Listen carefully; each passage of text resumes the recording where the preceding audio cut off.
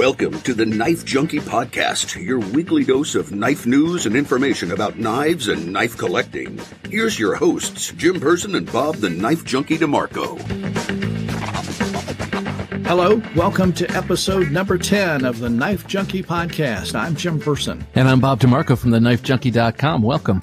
Welcome to the final Knife Junkie Podcast of 2018 not the final Knife Junkie podcast, but just the final one of this year. And boy, you know, time has, has flown by, Bob. It has indeed. 10, 10 podcasts. It seems like we just started doing this. Yeah. 10 is, is sort of a milestone because I can't remember the statistic, but you know, a lot of podcasters only make it to like five, six or seven episodes. So we've already uh, uh, made a milestone and surpassed many of them. And I look forward to hitting show 50, show 100 and just yeah. keep this uh, Knife Junkie podcast train rolling right along. So, what do you have in your pocket today? Let me guess. Yes, I've still got my buck canoe. Um, I'll be honest, I didn't put any knives on my Christmas list, so I doubt anybody's going to get me one. But but I am really liking the buck canoe. Oh, that's Aesthetic, cool. aesthetically and functionality. It's it's just a great little knife for me. I can't think of anyone that you know that might get you a knife for Christmas. That's just, that's just crazy.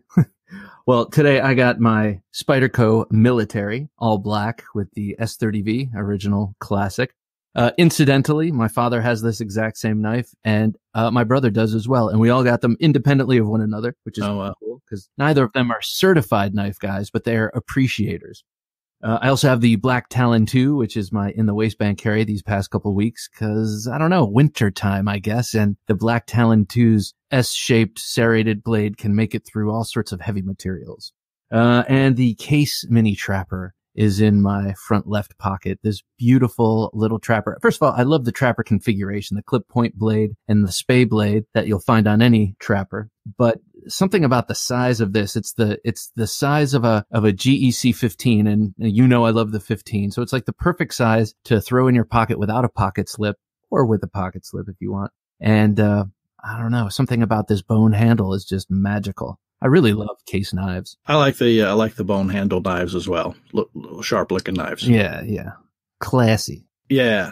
So for our final show of 2018, kind of wrapping up the new year, we've got uh, wrapping up the year and got the new year to begin. Uh, we're going to have a ships in the night segment coming up. We're going to have a knife news segment following our main show topic. And knife news segment this time is going to be taking a look at knife uh, shows coming up in 2019. And we're going to try to start incorporating a review or uh, inclusion of uh, knife shows and dates and that kind of thing on pretty much every podcast that we do from now on into the new year. But also, uh, as I mentioned, the new year upon us, uh, Bob's going to kind of take a look back at 2018 not all of the trends, not all of the news items, just a, a curated look back at 2018 and some of the highlights that you kind of want to kind of want to hit on in the in the knife world. I like the way you said curated. That that immediately elevates me like three or four rungs. Absolutely. I'm now a curator. You are a curator, and we'll get to that. But first, we've got our ships in the night. Buy, sell, trade, keep the addiction healthy and justified. Ships in the night. So just moments before Jim and I rolled on this podcast today, I received in the mail the Ruike Knives P801-SF. Now this knife has gotten a lot of action and a lot of uh, YouTube play over the past year and a half. And uh, now I see why. It was sitting in my Amazon cart for months and uh, like my real steel, I just decided to buy it and I'm really glad I did. If you have only uh, 30 bucks to spend, I would say spend it on this knife. It is beautiful to look at in, in my estimation. It has a serviceably long blade of almost three and a half inches. It's, uh, a budget knife, but it's using a high end budget steel, 14C28N, a Swedish Sandvik steel. It's very sharp. It's very thin. The action is incredible and, uh, the ergonomics are right on point. Now, uh, is this worth the $30 you're going to spend on it? I would say it's worth every dollar. And uh, I'm going to make this a new shop knife and I'm going to put it through its paces, see how it does on Kydex and other tough materials. Uh, I will let you know in the future if I have anything to report. But for now, I would say the Ruike P801-SF, which is kind of a long name, is a 100% home run. And I'm sure we'll have a uh, video knife review of that Ruike knife coming up in the new year on the Knife Junkie YouTube channel, which you can find at theknifejunkie.com slash YouTube. Well, just as a matter of fact, Jim, before I called you tonight, I shot a quick video just to show it.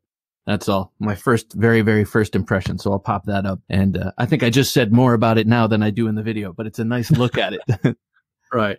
No, there's a good, uh, good uh, off the cuff review of it, and it sounds like uh, a knife definitely worth uh, adding to the uh, collection, especially at that uh, kind of low price point. Absolutely. How'd you like that upgrade on Ships in the Night? Now here's more of the Knife Junkie podcast. And we're back on episode number 10 of the Knife Junkie podcast. Jim Person along with Bob the Knife Junkie DeMarco here on the final Knife Junkie podcast of 2018. And we thought it would be a really good opportunity to kind of look back at some of the news, some of the action that happened in the year uh, in the world of knives and knife collecting. Again, don't have time for everything, but just uh, a, a, kind of curated look at some of the things that hit Bob and uh, over the year 2018. Sure, we've missed some, but you know, give you a chance to kind of go right. through and chat a bit, a little bit about it. Yeah, that's right, Jim. I just sat down and jotted down things I remembered uh, about the this past year in knives, uh, either preponderant themes uh, among YouTubers or just little news events and little things that I remember that just stick in my mind. And right. I, am going to start with, something that is very exciting to me, and I know uh, very exciting to a lot of Kai USA or just Kershaw ZT lovers. Is that Kershaw Knives has gotten rid of its speed safe almost completely uh, in deference to uh, bearings, bearing pivots. So it, it at one time almost every single Kershaw knife you got had the speed safe which Jim, if you don't know what that is, it's an it, it's a way of opening a knife, uh, an assisted opening it's not technically an automatic or a switchblade because you're not pushing a button. You're just pushing the flipper tang, a little piece of the tang that sticks out the flipper tab. Right. And right. then a little torsion bar, which is loaded up with tension when you close the knife, expels the the blade quickly. So it's it's kind of half automatic, and gotcha. uh, and and it's a it's a real great way for a production knife company to create a very cheap knife with reliable action. That doesn't mean that the action is going to be smooth or great or nice or any of those things we talked about in our last podcast. Uh, we were talking about action of knives.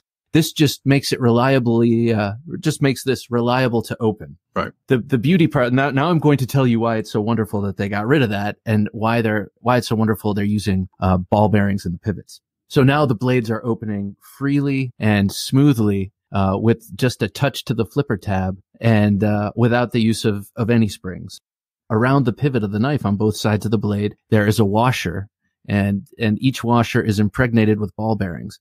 Those ball bearings and the tension built up between the blade and the lock, the locking detent are what create the tension to, to shoot the blade out. So really what Kershaw is saying is we're taking a little bit of extra care to um, engineer and manufacture these knives so that they have the tolerances it takes to open up reliably each time smoothly without a spring, without a torsion spring, uh, for a low cost. And that's great news. It sounds like a, a, a more quality knife. It is because it takes more engineering time and prowess and uh, and uh, machine time to actually make a knife like that. Right. So we're excited about the bearings and the Kershaws. Uh, another bearing related, pivot related news uh, from this year is, is the Rick Hinderer knives tri-way pivot. So Rick Hinderer knives uh, he's a Rick Hinderer is a knife maker from Ohio, my home state, and uh, I've always loved his knives. He was a former firefighter who uh, had a knife fail on him on the job, and he decided I'm going to make the stoutest knives in the business, and they're never going to fail. And uh, he's been making knives for like 25 some odd years, and they're awesome. But they were always sort of uh, taken down a notch due to their action. Uh, they have many of them have flippers, and when you press the flipper, the blade just kind of just kind of comes part of the way out the flipper was really being used as a hand guard, a finger guard, and not really a way to shoot the blade out. So listening to the public hue and cry over the last 10 years, uh, Rick Hinderer decided that with all of his new generation of knives that come out, uh, I should say with each new generation of knife that comes out, he's offering them with a tri-way pivot. That means you can have your pivot three ways. He, he ships it with the ball bearing pivot in there, but you can also switch it out for the original nylon washers or brass washers. I'm sorry, bronze washers. So basically he's, he, for the same price that it used to be, he ships you the knife and he ships you three different pivot options. And, Wow. and people are just raving about how smooth it is with the, uh, with the bearings. And now, Jim, I have three, uh, older generation hinderers that I love, but I'm not in the market for a new one because they're quite expensive. But now I feel jealous and almost envious of the people who have uh, got, gotten their tri-way pivot because Right. damn it, I want that smoothness. Can you order the additional pivots? Just No, no, because because the you know it's uh, the um, engineering on the inside around the pivot has had to change. Presumably, Right. I haven't I haven't cracked it open and looked inside, but presumably it's got to be different on the inside to to accommodate those three different washer Okay. styles. Gotcha. So Gotcha. that was exciting news. Well, a couple of exciting uh, uh, bits of news as we look back on 2018. So, what else kind of came to your mind as you were thinking about the the year past? Uh, Mass Drop came to mind. Mass Drop is a uh, is a um, what do you even call them? They're like a a, a group buying website, and they um, they will do collaborations with knife makers hmm and get buy-in from the public, from from members of Massdrop, and they'll say, okay, okay we're going to create this knife by Bob DeMarco, and it's going to sell for five hundred dollars a piece. Sign up now, and we'll have the money to actually manufacture it. And so you get all you you get a head of steam built up. And you get people who are excited about this knife because it's a famous designer or whatever, and uh, they buy in. They they put their money in, and then Massdrop has the knife manufactured through. And lately, they've been using We Knives a lot, which is a premium Chinese knife manufacturer, and they they just make incredible stuff. And uh, so this this whole Massdrop branded manufacturing collaborations, I think, are very interesting because uh, you you have famous designers who might not have the capital or the backing to to do big runs of knives on their own.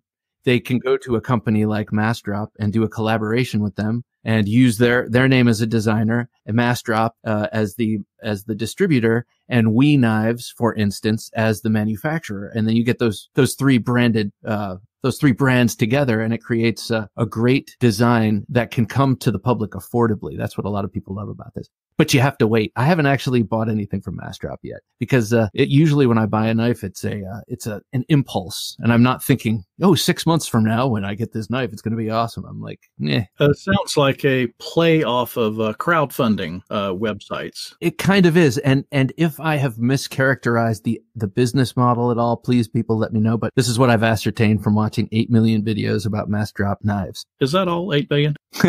you bring up a good point about asking for feedback and opinions and, and that type of thing. And I'll just uh, use this as an opportunity to plug the Knife Junkie listener line. We'd love to get your feedback 724 466 4487. 724 466 4487. If you have any thoughts about the, the mass drop knife kind of business model, or if you've bought any knives that way, let us know. And then as Bob kind of continues his look back at 2018 on some of the, the major highlights that kind of hit him as he was looking back, if you feel like he missed anything or you want to expand on anything, again, call that listener line and let us know. What's up next, Bob? Uh, next uh, is Cold Steel made changes to their uh, their steel. So for the first time in their long history, about what is it, 2016 or 15, they switched up their cheap Japanese AUS 8 steel uh, for very nice American-made CTS XHP, which is considered a super steel, if you will. And uh, with that uh, came came all the price uh, price jumps at the time, and and that was acceptable because their knives are so darn strong, and and I find them very visually appealing. That it's nice to know that they had really kick-ass steel. Well, this past year they had some trouble getting uh, from supply problems with Carpenter Steel, who makes CTX. CTS XHP, and they switched to uh, to Crucible's S35VN, um, which is a ubiquitous knife steel, and it's it's really excellent. And uh, I have no opinion one way or another. I do not have any um, cold steel knives with S35. I do have a number of them with the CTS X, CTS XHP. It's hard for me to say, Jim. And, Right. and that steel is is awesome. In my limited use of it, it's pretty awesome. So Yeah. No opinions, just an interesting thing. I remember they wrote a very contrite letter. Uh, Cold Steel uh, Chairman Lynn Thompson wrote a contrite letter like, "We're so sorry, but we have to change our steel to S35VN. We're so sorry. We strive to please." And I was like, "Damn, all right, it's okay. It's S35. It's not like you're switching it to 8CR13 MOV." Oh, absolutely. Yeah, yeah, little knife humor there, Jim. Um, another another thing this year were the Benchmade uh, quality control improvements uh, that I kept hearing about, and that I witnessed myself in the in the three Benchmades I bought this year.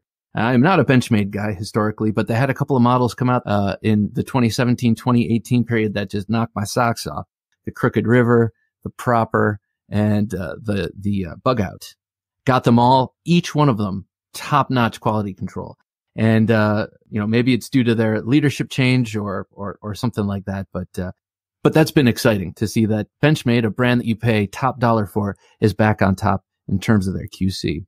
Uh, mm-hmm. Here's something that uh, shines a, a, ray of hope on those of us who some at some point in their life, well, okay, such as myself, would like to make knives professionally on a small scale.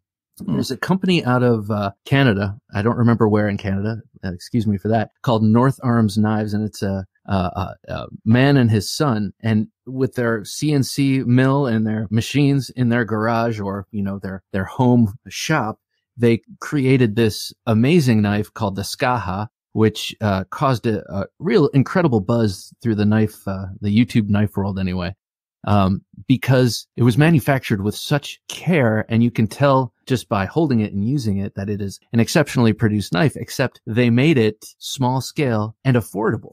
In other words, these kind of small batch homemade knives from from uh, premium makers usually go for way more than they were charging for this Skaha.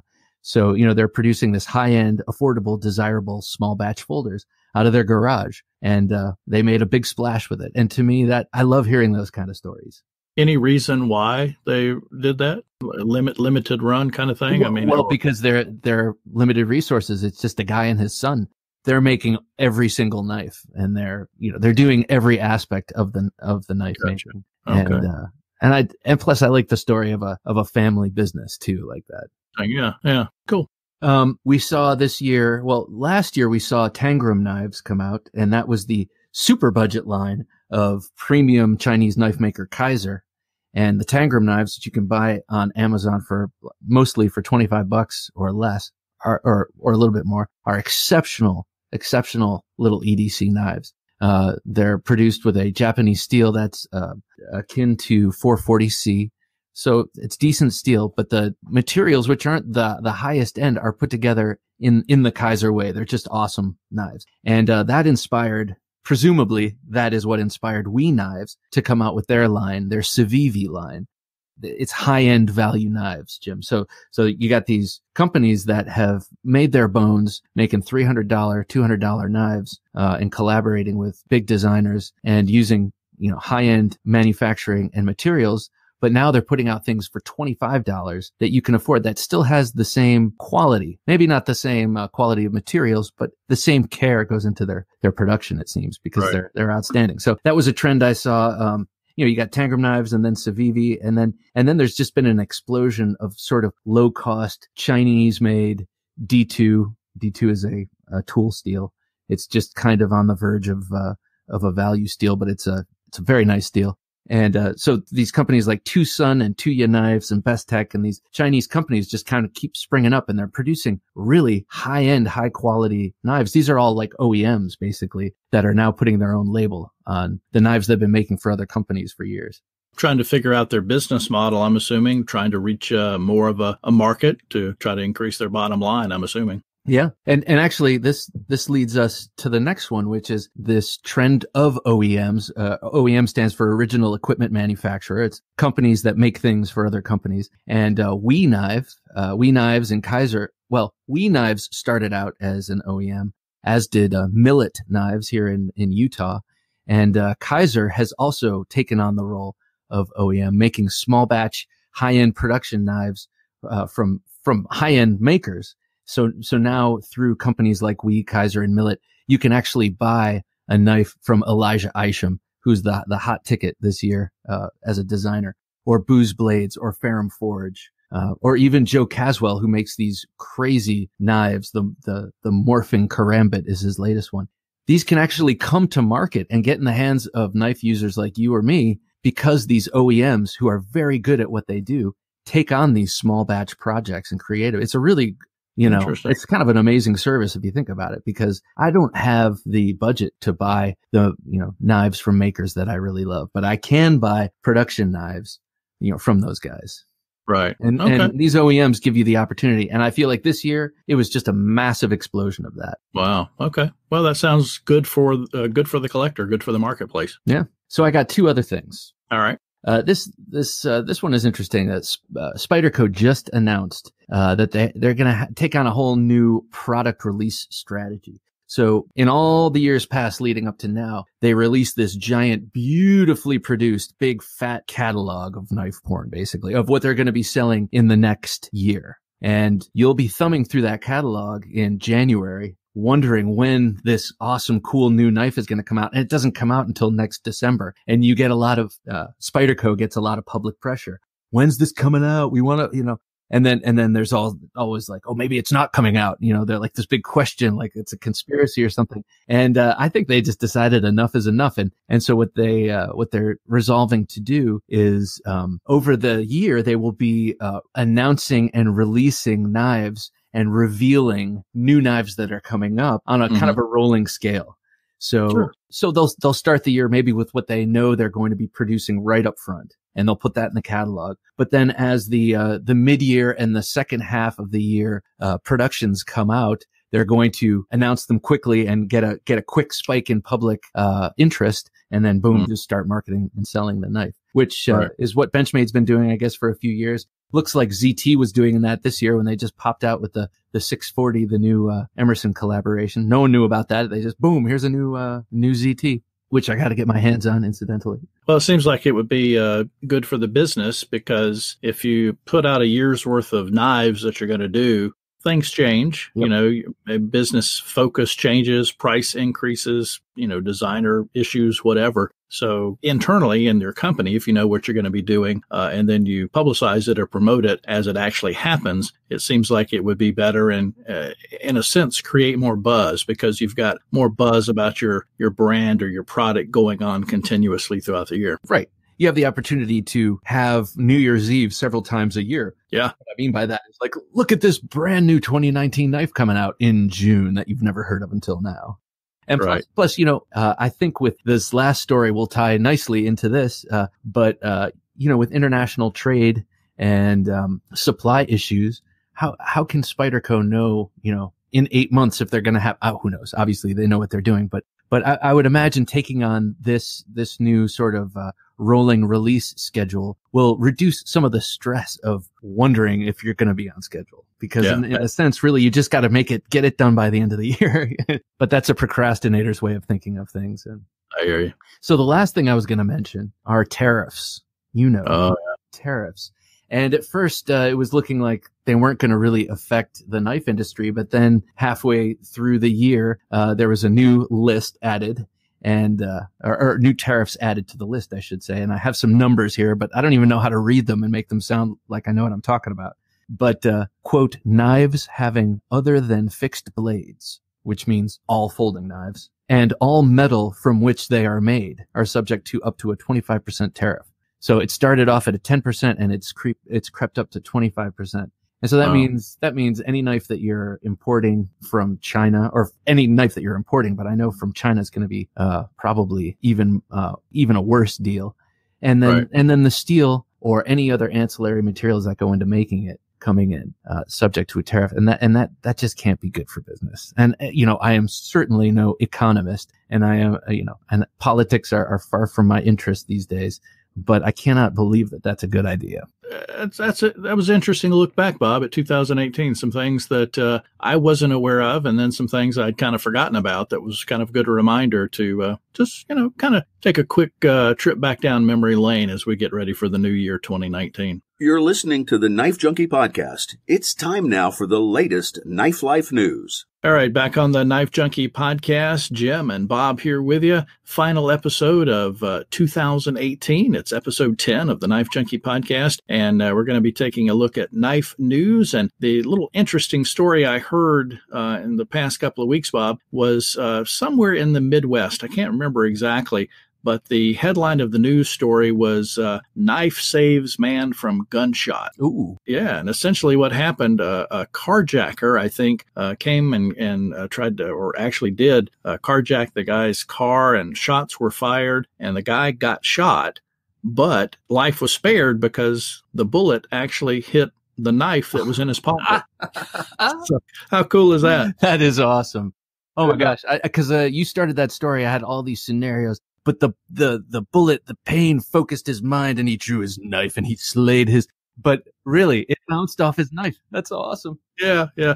And I can't remember exactly where it was. So if anybody uh, uh, wants to call the listener line and let us know, uh, that would be awesome. But I saw that and I was like, I got to at least mention that on on this uh, Knife Junkie podcast. Probably Ohio, Jim. Yeah. Whenever I hear anything crazy in the news, it's Ohio or Florida. No offense to anyone right. in Ohio or Florida. But you can say that since you're from Ohio. That's so right. That's right. I, I can't and I won't. but we thought we would uh, do on this uh, knife news segment is really uh, take an in depth look at some of the shows coming up in 2019. And then on a more regular basis, uh, we would uh, kind of talk about knife shows uh, on the Knife Junkie podcast, at least pr- promoting some of the dates so you can make your travel plans, be aware of them. And we'd love to have some knife show promoters and organizers, knife clubs that hold shows, that kind of thing. love to do some little mini interviews interviews with them to give them a chance to promote and talk about uh, their upcoming knife shows. But uh, a couple of big ones, actually, Bob, coming up at the uh, the, the beginning of uh, uh, the new year in January, the Shot Show out yeah. in Las Vegas, which is which is a big one also uh, followed by the Las Vegas Custom Knife Show. And those dates are January 22 to 25 for the SHOT Show and January 26 through 27 for the Las Vegas Custom Knife Show. Been to either one of those? Uh, never been to either one of those. I've I've been to the New York Custom Knife Show a number of times when I lived up there, and oh my gosh, Jim, you want to drool? Take a look at those knives. These custom knives, handmade that you just can't imagine how people make them with their hands. It's, it's incredible. And pretty incredible. Yeah. You mentioned the New York Custom Knife Show that uh, just happened. Uh, and it's going to be coming up again in November 22 to 23 of 2019. So but of course, a, it's not held in New York. You got to go to New Jersey for it. Well, because, you know, you know New York. That's the way they roll. yeah. So looking ahead uh, into 2019, if you want to make your uh, travel plans, a couple of shows that we have on our uh, calendar uh, February 1 through 3, uh, one in Lakeland, Florida. It's the 41st annual Gator Cutlery Club Custom Modern and Antique Knife Show. Again, that's February 1 through 3 and in Texas, February 23rd uh, through the 24th or 25th. Uh, my notes here are a little off, but February 23, I think, a, a couple of day show. Uh, the inaugural Lost Pines Knife Show. That's in Bastrop, Texas. Mm-hmm. So a couple of uh, February events coming up. Love to uh, maybe talk to some folks involved in that because we've got a show that's been running for 41 years and then an inaugural knife show. So that's kind of a interesting uh, juxtaposition, I think is the correct word for February. It also shows how much the knife community is growing. It's exciting. Yeah, absolutely. Absolutely. Uh, March, we've got on our calendar March 3rd, uh, Marlboro. It's the Massachusetts Knife Show. That's in Marlboro, Massachusetts. Couple of shows in April, uh, 28th annual Greater Shenandoah Valley Knife Show. That's in Harrisonburg, Virginia. Uh, also in April, you've got the 44th annual Oregon Knife Show in Eugene, Oregon and also in uh, April, April 27 through 28, the 37th annual Northeast Cutlery Co- uh, Collectors Association uh, big extravaganza knife show that's up in Connecticut. So again, uh, a, a, lot of longevity with some of these shows. The 28th uh, annual one in uh, Virginia, 44th big show in Oregon, and 37th annual show in Mystic, Connecticut. So some longevity there in the shows, and again showing the the strength of the knife community. Wait, Jim, are you saying that people liked knives before YouTube and Instagram? Wow, it's amazing, isn't it? Is that true? Yeah. So uh, I won't go too much further, but uh, we've got some shows uh, in May, June, September, uh, November, December already on our calendar. If there are shows that you are involved with that you know about, we would love to hear them. Uh, we've got a page on the uh, Knife Junkie website. it's knifejunkie.com slash shows. That's S H O W S, theknifejunkie.com slash shows where we'll have uh, the shows that we are aware of uh, listed with the dates, uh, what they are, where they are, and some links to the website. Uh, but again, if you're with one of these uh, knife collectors clubs or if you're a promoter organizer, uh, one of these shows, we'd love to do a quick interview with you, give you a chance to promote and plug your show. so give us a call on the listener line, and we'd love to hear from you and kind of arrange that interview. And now that we're caught up with Knife Life news, let's hear more of the Knife Junkie podcast. So, Bob, what do you think about some of these shows? You think the uh, the Knife Junkie and the Knife Newbie should be uh, heading out to some shows? Yeah, Jim, I'm thinking I'm thinking we need to start uh, getting our passports ready, or at least uh, our tickets ready, and uh, yeah, get a video camera and get on these planes. Absolutely, man. Sounds like fun for the for the new year in 2019. It does, and I think we can write it all off too, Jim, which is another good thing. Not a uh, an accountant or a tax advisor, but I did stay at a holiday once, so. well, there you go. Subscribe to the Knife Junkies YouTube channel at theknifejunkie.com slash YouTube. Hey, uh, final thoughts on uh, our uh, our 2018 uh, year, uh, episode 10 here on the Knife Junkie podcast as we get ready to move into 2019. I'm looking forward to a great full year of Knife Junkie podcast, but uh, kind of where what's your thinking? Where are well, you right now? as, as i'm just sitting here glancing over my notes at, at, these 12 items these just all came off the top of my head in a matter of minutes. And um and then a couple of things i looked up but the the the thing that's exciting to me is that uh, without even really doing much research, I could think of all these things, and and what that means is that there is a, a thriving and growing knife community, and it's exciting that there are people who care about steels. There are people trying to make their small batch knives. There are you know companies helping out. Uh, it's just a great community out there, and there there is a hell of a lot of talent, and uh, mm-hmm. So I, I, think it's, I think next year is going to be even bigger. I know 2017 knife sales had flagged 2018, they're back up, and I think 2019 is going to be even better. All right. Well, we'll uh, do our part to talk about knives, knife collecting, and uh, a lot of interviews scheduled for 2019 as we start to bring you uh, knife makers, knife show organizers, uh, knife YouTubers, and others involved in the community to help spread the word even more here on the Knife Junkie podcast. That's right. Look forward to you joining us on our venture in 2019. Thanks again for joining us, and please be sure to visit theknifejunkie.com. And if you have any questions, comments, or thoughts, thoughts, call our listener line at 724 466 4487. Again, 724 466 4487. Happy New Year, everybody. Happy New Year, everybody. Thanks for listening to the Knife Junkie Podcast. If you enjoyed the show, please rate and review at reviewthepodcast.com. For show notes for today's episode, additional resources, and to listen to past episodes, visit our website, theknifejunkie.com. You can also watch our latest videos on YouTube at theknifejunkie.com slash YouTube. Check out some great knife photos on theknifejunkie.com slash Instagram and join our Facebook group at theknifejunkie.com slash Facebook. And if you have a question or comment, email them to bob at theknifejunkie.com or call our 24-7 listener line at 724-466-4487 and you may hear your comment or question answered on an upcoming episode of the Knife Junkie Podcast.